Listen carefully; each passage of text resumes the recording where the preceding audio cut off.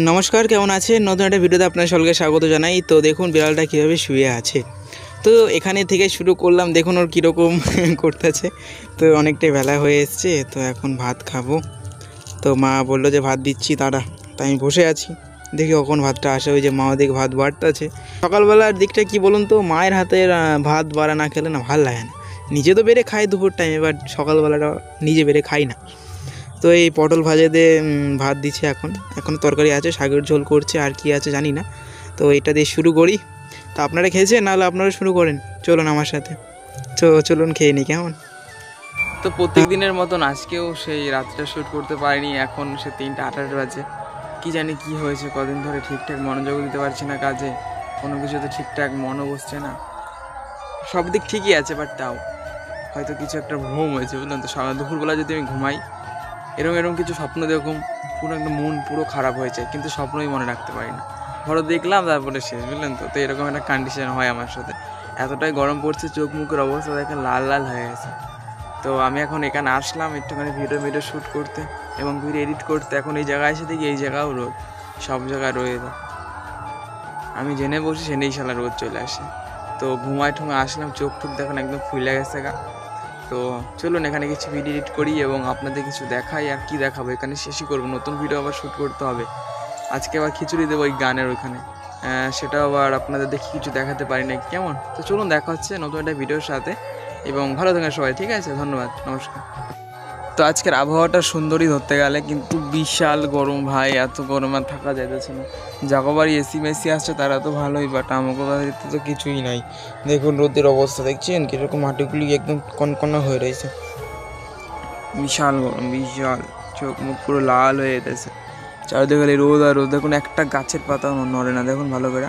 একটাও নড়ে না। তার মানে হাওয়া মার কোনো গন্ধ নাই। আর আমি যে জায়গায় বসি, সেই জায়গায় রোদ চলে আসে। আর ভালো লাগে না।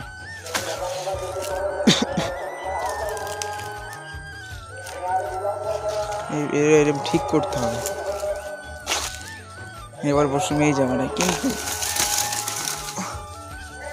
কাকি এসব জায়গায় কী সব দিয়ে রাখে?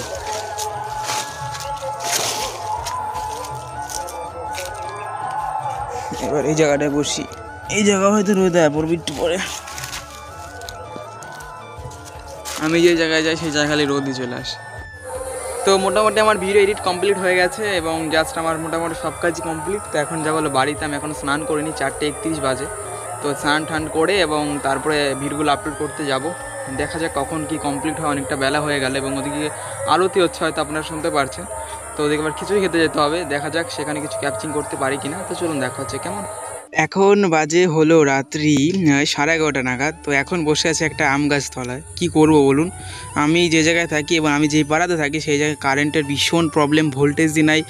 ফ্যান সে ভাইবে চিন্তা ঘুরে যে ঘুরবো কি ঘুরবো না, এরকম টাইপের ভোল্টেজ তো কি করব? তো ভাবলাম যে একটুখানি বাইরে এসে বসি। বাইরে ভালোই হাওয়া দিচ্ছে। এখন দেখি কখন ঘরে যাই। আর ভালো লাগছে না গো। তো টানা তিন দিন পর হ্যাঁ টানা তিন দিন পর আমি আজকে রাত্রে ভিডিও বানাতে পারছি। এখন বাস চলে একটা সাতাশ। তো আজকে আমি চেষ্টা করেছি আমি জাগার এবং জেগেওছি আমি। এখন একটা সাতাশ বাজে, মোটামুটি আমার প্রত্যেকটা ভিডিও এখন শ্যুট কমপ্লিট হয়ে গেছে।